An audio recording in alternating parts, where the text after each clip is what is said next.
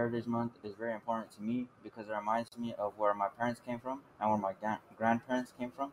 And it's really just important in general so that people who are not Hispanic can learn about the Hispanic culture and can learn about our ethnicity.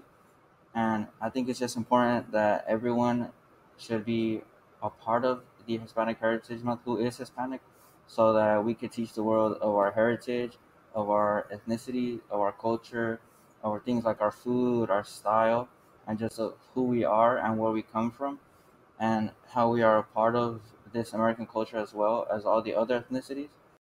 Hispanic Heritage Month is important because it shows honor and appreciation to all those Hispanics in our community. It's important to me because it allows me to see the different Hispanic workers that there is in the community and how far they have come. Uh, my name is Adrian Ricardo, and today Hispanic Hispanic Heritage Month for me is like understanding the importance and acknowledging the different Hispanic cultures around the world while living here in the U.S.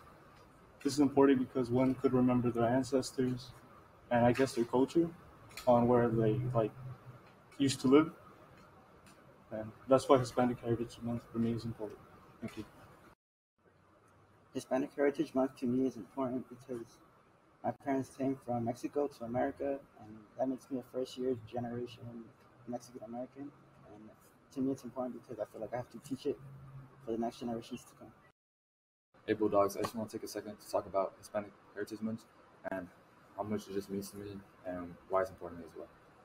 Hispanic Heritage Month is really important to me because it's a time to just remember the people before us, whether it be historically or personally. And it's also really important because it's a time to appreciate all the culture, traditions, and customs that have been passed down to us and that we continue to pass down throughout our lives. Anyways, thank you for listening to me. And like always, stay safe and stay strong.